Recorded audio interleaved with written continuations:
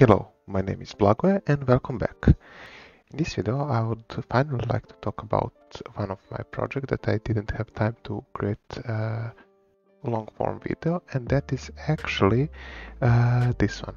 So how you can lock and unlock your PC with ESP32 and the one functionality that you need inside ESP32 is actually HID where HID stands for Human Interface Devices.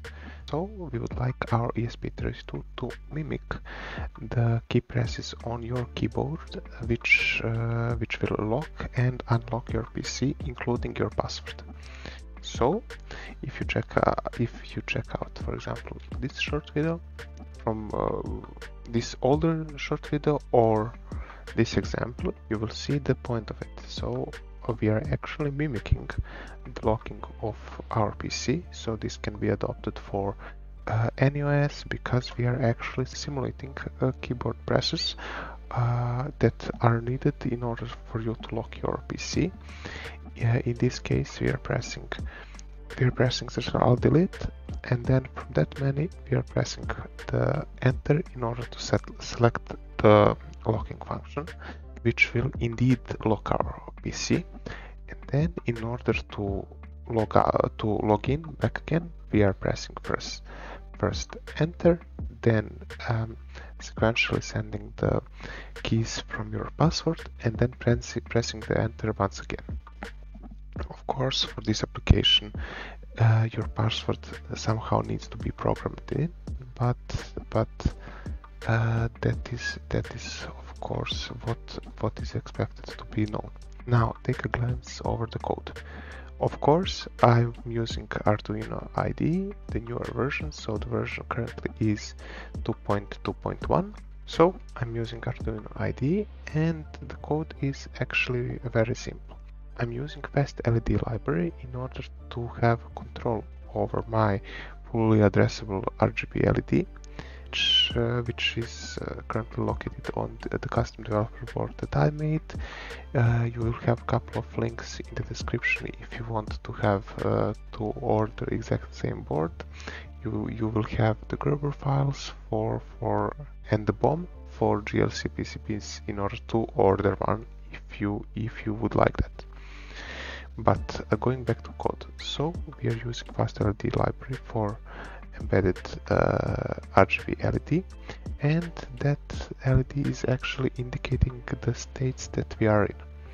Next we need to include two libraries that is USB and USB HID keyboard which which uh, will give us functionality that we need in order to to in order for our ESP32 to send to send actual actual key key presses.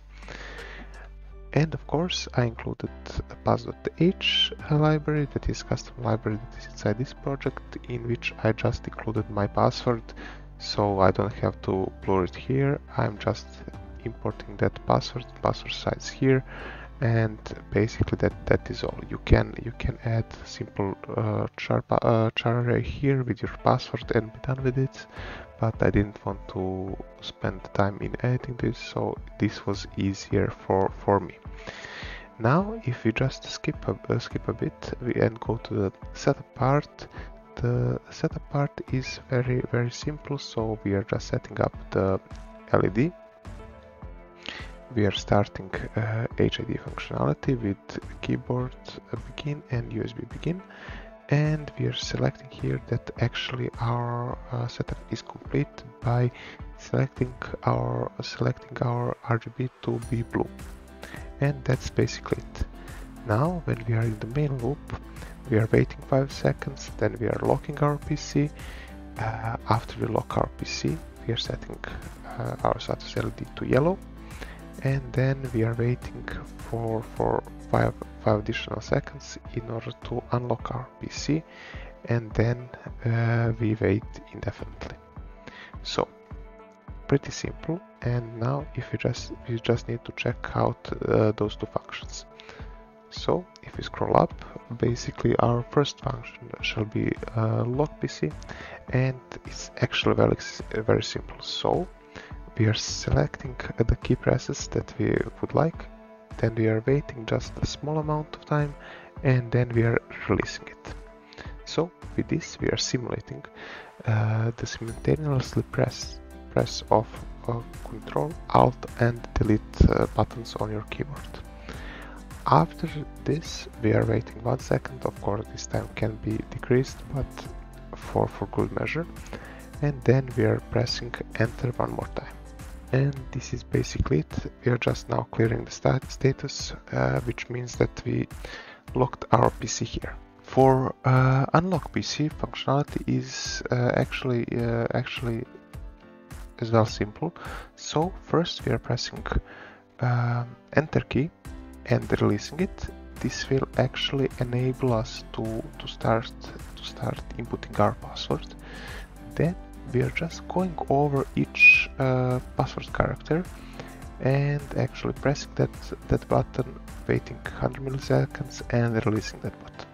So this function uh, this uh, for loop will actually go over our password inside our pass.h file and input each character one by one then we have a bit of a delay and then we are just pressing uh, enter once again in order to apply this password and that's it. So if I demonstrate one more time, it looks something like this. So we are waiting 5 seconds. Then our, our central delete was pressed. Then enter and our PC is locked. And now we have uh, enter and starting input of our password. And after uh, one more enter we are back in. So pretty simple.